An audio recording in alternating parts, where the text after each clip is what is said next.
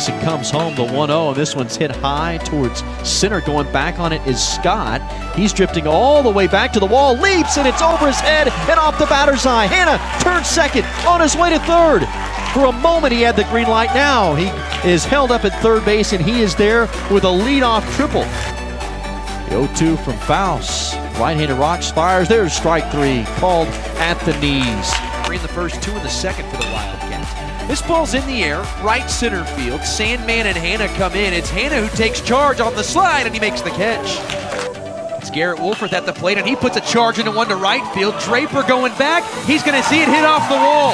Wolford on his way to second base, and the Patriots have cut the lead. It's 5 to 2 in the bottom of the fourth.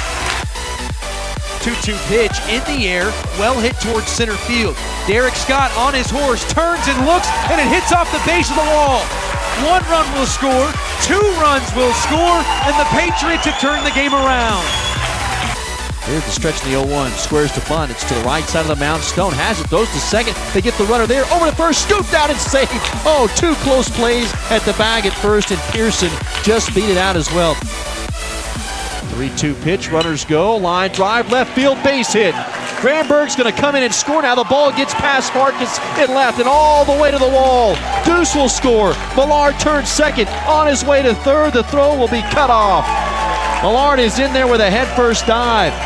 It's career hit number 100, RBI number 50, and the Patriots lead 9 5. Right on right. Here comes the 2 2 pitch. Swung on and lifted. Back of first. Listi there along with Skidmore. It's Listi who puts it away.